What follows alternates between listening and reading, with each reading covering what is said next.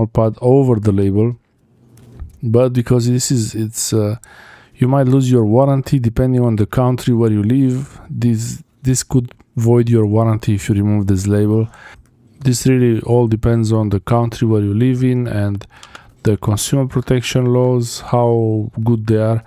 But to remove the label i find that a small pocket knife is really the best thing to open it sideways like this not to scratch the actual memory chips or the memory controller here.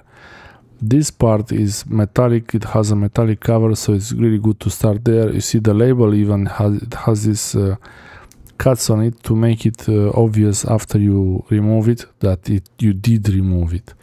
And the way to peel the label off is to do it sideways like this. Don't pull upwards so you don't put any pressure on any of the components to go up so they might be removed. Pull it sideways like this so it's um, lower chance of moving removing any components from this NVMe SSD drive.